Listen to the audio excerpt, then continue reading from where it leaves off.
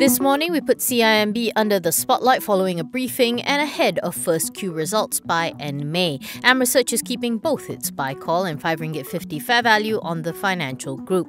To recap, in the fourth quarter, loans under moratorium and restructuring accounted for 15% of total financing. This has declined slightly because of the expiry of existence programs and the slowdown in targeted assistance requests across all its markets.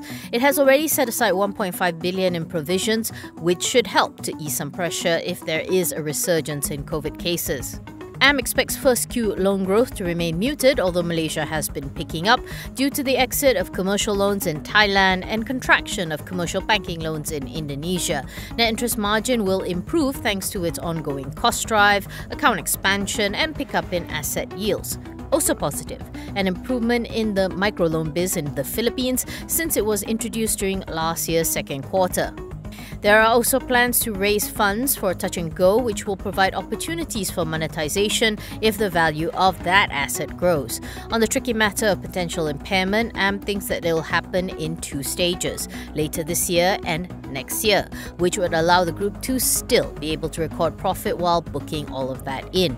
So, latest Bloomberg data has it at 9 buys, 5 holds, and 1 lone sell, which is actually from Kenanga. So, based on all of this, the average target price is 4 ringgit 73, which, based on the last close of 4 ringgit 17, implies a possible 13% upside.